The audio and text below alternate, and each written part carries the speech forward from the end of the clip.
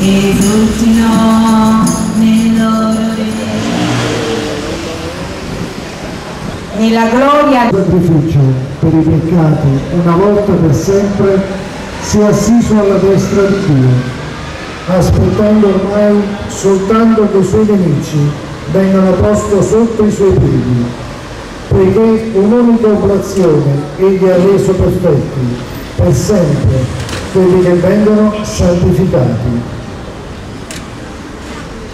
Ecco adesso ascoltiamo il Vangelo del giorno e ascoltiamo noi ci siamo in piedi, chi può che ascolti fa altrettanto nella volontà e nella libertà di ognuno.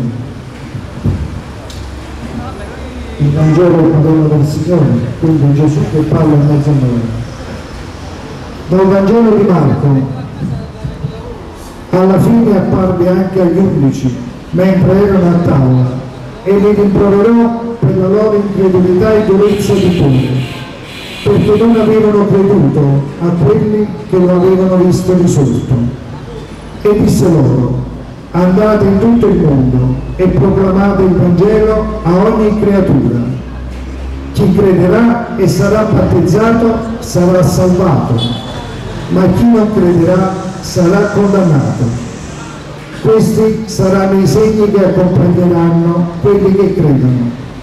Nel mio nome scacceranno i demoni, parleranno lingue nuove, prenderanno in mano serpenti e se terranno qualche veleno non recherà loro danno. Imporranno le mani ai malati e questi guariranno.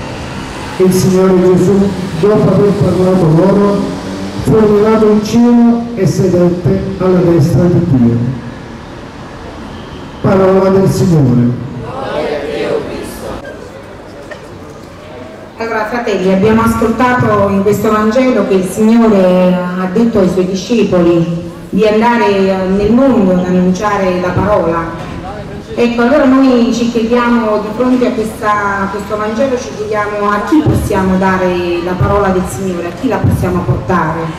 In questo mondo in cui um, si, um, in un mondo desacralizzato, in cui l'uomo non crede più in nulla, in un mondo anche scristianizzato, pensiamo ancora che bisogna andare, bisogna andare nel Tempio, eh, nella Chiesa per, per, pregare nel momento in cui ehm, ci è avvenuto qualcosa di male nella nostra vita. Ecco, magari abbiamo una malattia, abbiamo perso il lavoro e quindi che cosa facciamo? Andiamo al Signore, ci sentiamo del Signore solo in, momenti, in questi momenti. Poi che facciamo? Ritorniamo di nuovo alla nostra vita profana Ebbene, noi viviamo in un mondo in cui c'è una, una, crisi di fede, in cui appunto l'uomo non crede più in nulla, l'uomo pensa che um, dare amore, pensa che uh, dare amore al proprio fratello sia una cosa che lui non può fare da solo. Ed è vero, non lo può fare da solo, ma lo può fare solo con l'aiuto di Dio. Ecco, io uh, sono qui presente stamane per, per farvi uh, partecipe anche della mia, uh, della mia esperienza. Anche io pensavo, prima di entrare in questo cammino, pensavo che una cosa era andare in chiesa, una cosa era la vita religiosa, una cosa era la, la mia vita quotidiana di tutti i giorni.